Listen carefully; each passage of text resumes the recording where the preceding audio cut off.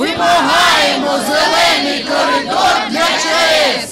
Вимагаємо зелений коридор для ЧАЕС! Требуем зеленый коридор для ЧАЕС! У нас собрались здесь родители, матеря, жены, сестры, работников ЧС, которые убедительно просят обратить внимание на персонал, который сейчас там находится, который изнеможен, истощен.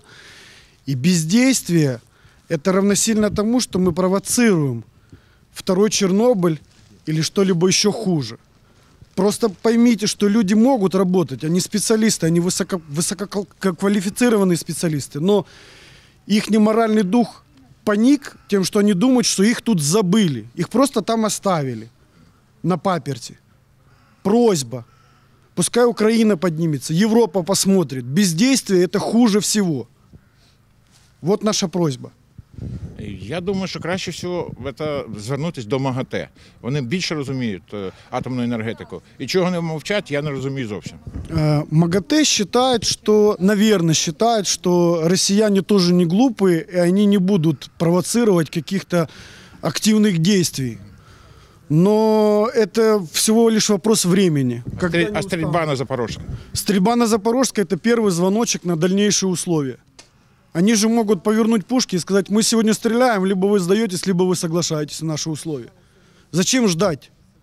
Если Украина идет сейчас, защищается активно, вся Украина, все люди собрались, ну соберитесь все люди, спасите других людей, они тоже украинцы. Они тоже хотят прийти сюда и здесь защищать Украину. Україні не потрібен другий Чорнобиль! Україні не потрібен другий Чорнобиль! Почуйте нас, будь ласка. Ми вас просимо е, зелений коридор для наших е, співробітників, які вже дуже виснажені, не можуть працювати. Якщо е, вони не зможуть працювати, станція просто остановиться і все. Люди готові поміняти їх. Їх потрібно просто вивезти. І все. Не треба другого Чорнобиля. Це буде страшно. Буде другий Чорнобиль. За Россию подует. И на Люди Беларусь Белоруссию подует. подует. Сейчас станция работает от своих генераторов. Если там не появится электроэнергия, то будет действительно второй Чернобыль. Поэтому нужно предотвратить, сделать зеленый коридор, сделать ротацию. Потому что у людей там сил работать больше нет. Президент Зеленский, услышьте нас, пожалуйста. Європі не треба другого Чорнобиля! Європі не треба другого Чорнобиля! Я буду краткой и без эмоций. За один день до этого электрического коллапса я звонила своему мужику на станцию. Слушай, надо бы аккумулятор в машине зарядить. А он мне, ты что, так и будешь две- каждые две недели бегать в гараж?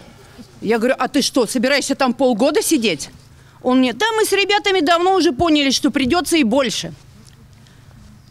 Владимир Александрович, я обращаюсь к вам. Наши парни не заложники, они узники российского концентрационного лагеря. И на ни- над ними поставлен чудовищный эксперимент. Выживут, не выживут. Помогут, смогут или не смогут обеспечить ядерную безопасность украинского, российского, белорусского народов и народа Европы. Так вот они смогут. Ну вы, пожалуйста, Владимир Александрович, помогите им по-мужски. А не только словами, как это делает сейчас Гросси и все остальные на Западе. Правительство, президенты и так далее. Помогите им по-мужски. Прошу вас. Зелений коридор для заручників